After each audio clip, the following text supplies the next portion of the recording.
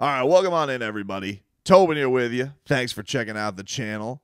And uh, great news today in Heat Nation. Much deserved news today for Heat Nation. Yesterday, you get the news Jaime Jaquez Jr., all rookie first team. Today, for the first time in his career, Bam Adebayo was named first team all defense. And that's Goosey's galore, dude. First of all, just to to let everybody know, uh, it's about damn time for Bam. Um, he is so deserving to be recognized as one of the top five defenders. As as uh, you know, the fact that we have been this many years, while it's very impressive, he's had this run of that many all defensive uh, placements on the team, even though it was second team the fact that he wasn't acknowledged as one of the top five defenders in the league was pretty crazy that we got to this point. Still hasn't been defensive player of the year. He finished third this year. I don't have as much of a problem with that. Um, I think he probably still should have finished above Wemby. I know everybody got crazy with Wemby and the blocks. Wemby becomes the first rookie to ever make first team all defense. Um, but I get it. Look, Minnesota was the best team this year. They anchored the number one defense. I still think he's a better defender than Rudy Gobert. Um, but you know, my bigger I, have been over this a hundred times. My bigger quibble was a couple years ago when Smart got it above him. I thought that was ridiculous, ridiculous, especially with the Heat as uh, as the top team in the East that year. Just just completely stupid. And the and the thing that annoyed me the most about it was everybody's big detriment to it was games played because Bam missed. Um, a good amount of games because of his thumb, but he was basically back for the whole second half, which was the only time the Celtics were good that year because the Celtics sucked in the first half of the season. So I don't know. But hopefully one day he finally gets this recognition and then hopefully he will uh you know, get the ultimate prize that he wants. But I remember talking to him I don't remember which season it was going into the playoffs or which one it was, but I remember asking him. I think it was that year. I think it was the year they were the one seed, and I think it was discussing. Uh, it was discussing DPOY, and he knew it was all politics and all that. Um, you know, and he's used the fact that he don't get on TV enough and all that type of stuff. I, I do think that stuff genuinely um, can be annoying for him, but you know he does such a marvelous job of he has all of this respect from his from his counterparts, from his peers in this league. Um, even if the media love and the fan love, quite frankly, is coming a little bit slow. Because here's the thing, that you know, I, have I've noticed this. I was actually funny today. I was uh, I just happened to be uh, about out and about with uh, a buddy who we talk a lot of shit back and forth about basketball. He's not a Heat fan but he likes he likes to to give me uh, the business anytime the uh, you know the heat season ends or whatever. But he was even like the Bobby thing is oh well Bam's a four you know Bam's a four Bam's a Bam and you know look I'm not disagreeing with people that would say like like you don't think Bam's a center because he's six nine six ten on a good day but you can't deny the guy has been a very successful five for the Miami Heat. He has. And, you know, when people go that route, I get what you're trying. I, I feel like there's better ways to go about it. Like, I feel like the talk, whether you want to say he's a four or a five, I think it should always be with him. They should get more size next to Bam as opposed to he's not a center. Because really, what is a center? You're going to go get a guy who is a pick and pop, gonna have to be out in the uh, the the offensively, you know, be able to hit some threes for 15 minutes a game. You know, it, it's one of these things where, yeah, I get it. He's a unique guy that can be a, a tough front court mate to put around, but it's always more of a positive output than it is a negative one. And I think that if you want to talk about the Heat shortcomings, I, I definitely agree that that the Heat should add some size, especially the way the league is going and with who they have to compete against. But not being able to pee a drop of offense to me has been um, a much bigger issue, and that really I don't think has been a size thing per se, but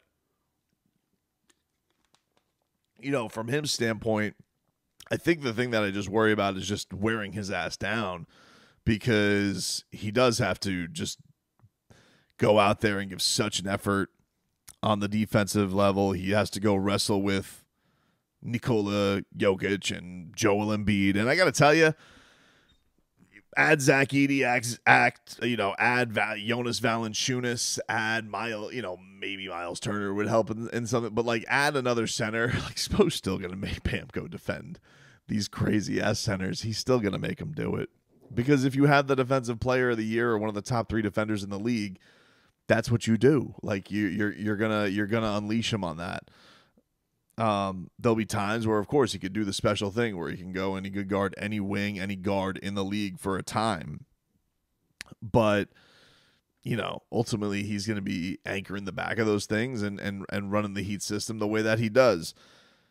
He's the the fact that he hasn't made more of a stink about this because look, let's be real about it. Like Bam said this in his post game that you know the man wants more game winners in his arsenal. He wants more moments like he had in Detroit this year and against the Nets a couple years ago, and he's had some big closeout games against the Celtics and the Bucks and things like that. But you know, Bam, I think is very prideful of the work that he's done on offense and the devel- developments he's made in his games. I think the guy would love it if he could get a little bit of a defensive break every now and then, and and could be, you know, a guy who could uh, coast or know when to turn it on that just hasn't been what this uh, this franchise has let him do yet. And and I imagine because there's so much honor in the way that he upholds Heat culture and being you know in some way ingrained as you're the next guy, but he's he's he's stuck somewhere between D Wade and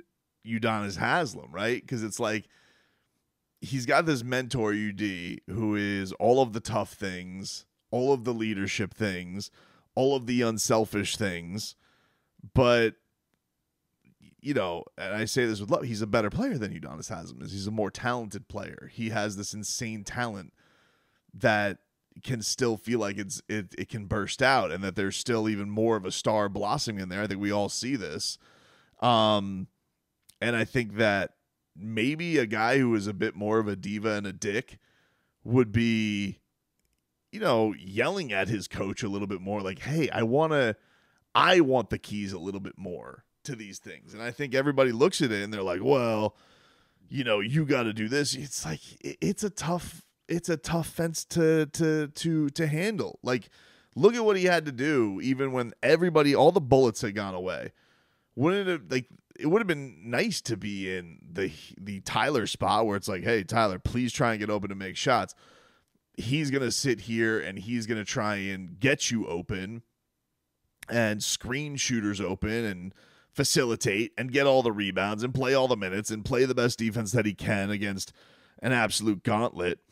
And I don't say that as a shot at anybody, but like he's got to do all the selfish things with the expectation he's got to do all the unselfish things with the expectation that he's also going to produce the the points and he's going to produce you know the the stops and he's going to he's going to put up those big numbers so it is going to be an interesting thing to see what the uh, the next evolution of his career is from here because in a lot of ways like Jimmy's still the face of the Miami Heat right now but I think that there's no question in the organization's mind like who they're backing, right? Like they're going to give the only guy who really didn't suffer any wrath from Pat Riley of the big 3 of their payroll was Bam.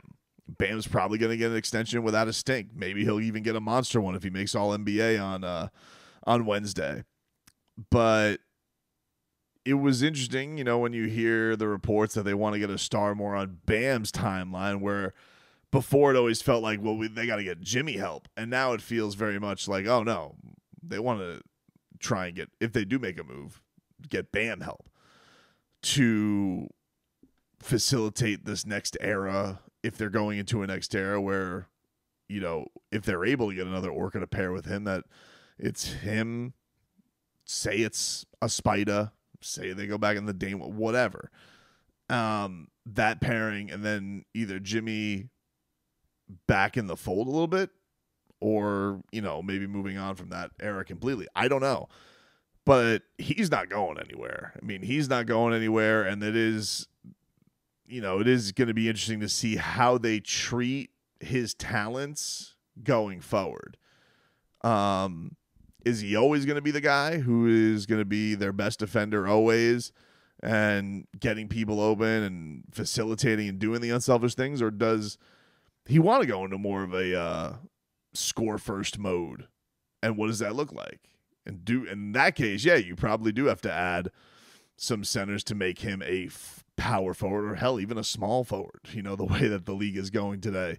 If you're going to do those types of things to add even more size the one thing about him that is fascinating is because of his talents. Like it leaves you, I think, with some pretty interesting areas where you could go and and uh, and and paint that picture. But all in all, this was a long time coming. He's right, much much deserved. Happy for the guy. Uh, as easy to root for as it gets when it comes to a professional athlete. Class personified, works his ass off, represents the organization well, has done a whole lot of winning. Um, and you know, really does not bitch about any of this stuff publicly ever. Like just hold, upholds himself with uh with a lot of class all the time. So congratulations to Bam Adebayo, much deserved and happy for him.